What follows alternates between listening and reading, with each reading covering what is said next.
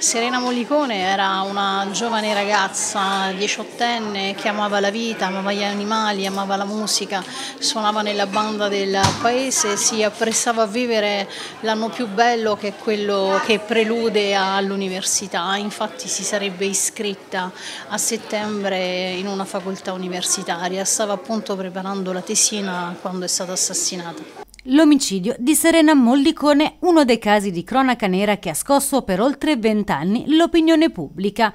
Una vicenda al centro del libro La ragazza del bosco, verità oltre l'inganno, un testo nato dall'esperienza di Roberta Bruzzone, psicologa forense e criminologa investigativa, e di Federica Nardoni, avvocato penalista esperto in reati contro la persona.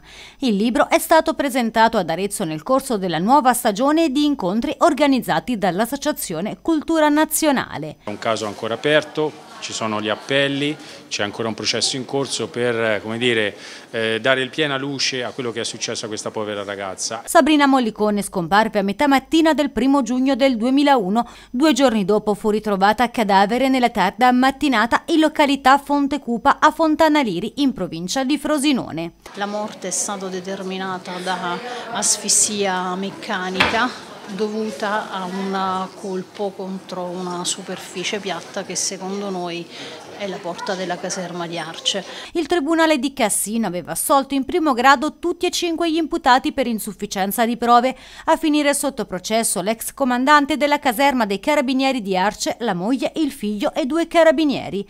A breve si aprirà il processo in corte d'appello. Questo processo ha sempre destato l'attenzione della Procura perché Guglielmo Mollicone è stato un papacoraggio, il papà di Serena e non si è mai arreso, quindi anche quando ci sono state delle battute processuali di arresto comunque ha sempre evidenziato nuove prove a seguito dell'archiviazione e dell'opposizione all'archiviazione formulata da Guglielmo Mollicone. Sono state eseguite delle consulenze scientifiche che hanno permesso di celebrare l'attuale processo.